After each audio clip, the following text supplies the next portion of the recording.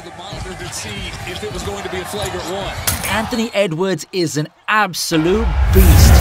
Time, but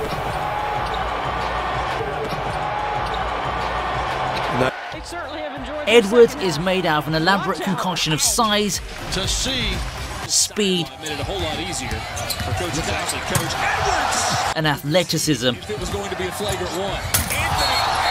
And the scariest thing about this kid is that he's still a work in progress. In this video, we're going to dissect this rookie's entire offensive arsenal down to its core and analyze some of the facets of his game that ultimately made him a truly unstoppable player. But before we start, be sure to hit that subscribe button. Also, be sure to stay to the end to see our predictions.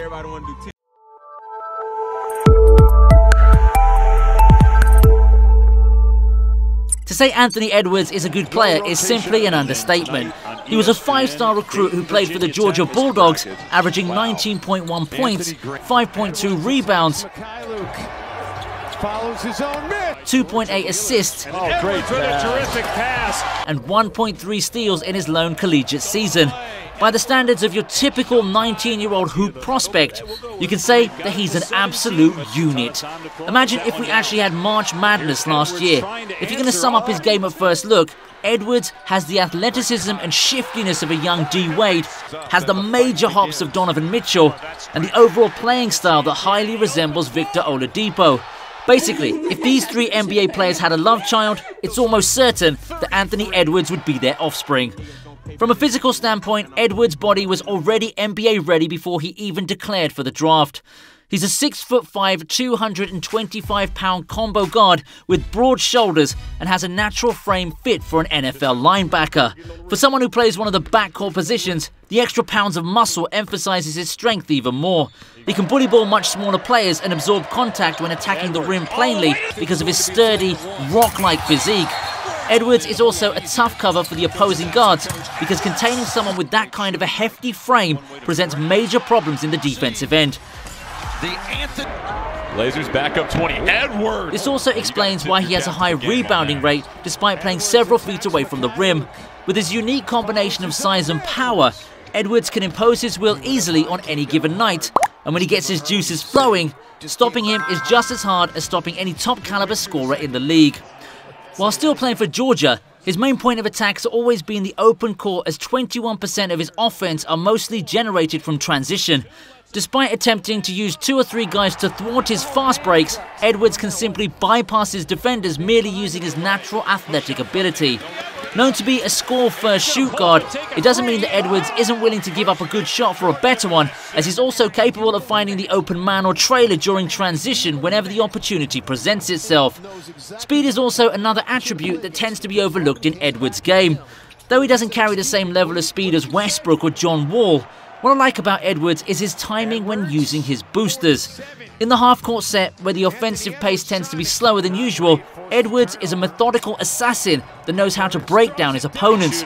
He'll do a variety of hesitation dribbles first and tries to catch you off guard using some hard jab steps. Once your feet leave the floor, he'll use his speed to blow by and before you even know it, he's already inside the lane, preparing to put someone on the poster with a one-handed hammer. Closing out on him can be tricky too, as he can run past someone in just the blink of an eye. His underrated explosiveness also puts a lot of defenders on notice, because they're having a hard time predicting what his next move would be. When he's not taking care of ball handling duties, Edwards remains active by reading the defense and eventually moves quickly for a backdoor cut, setting up screens to free his teammates. Now that we've analysed his genetic gifts, let's now shift our attention and break down his offensive game. Ever since his name came up in the NBA draft stock, Edwards' calling card has always been his scoring ability. The 19-year-old has a very polished offensive game despite his young age, and from the looks of it, he's doing it from a very relaxed and stress-free disposition. To put it simply, he's a smooth operator that lets the game come to him instead of the other way round. Just like other premier guards in the NBA, Edwards is very much adept in using a plethora of dribbling moves to create the necessary separation for his shot attempt, and on top of that list is his step back. Edwards regularly utilizes a James Harden-esque step back that allows him to showcase his incredible balance and footwork. He's also pretty much comfortable in pulling off his step back whenever he goes either left or right, making him an extremely challenging matchup for the elite defensive guards in the lead. Apart from the lethal step back, Edwards also uses a series of crossover dribbles followed by a pull-up jumper as one of his go-to moves.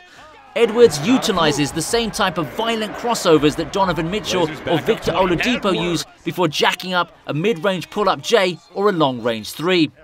He'd often start this type of offensive sequence by mix matching different combo dribbles to get himself into a rhythm. Once he does, he'll bait his opponents with head and shoulder movements to influence them to move in a certain direction. When they make a misstep, that's the time that Edwards creates the separation for an uncontested jumper. Elite NBA guards like Harden, Oladipo, and Donovan Mitchell have been doing this type of move for years already.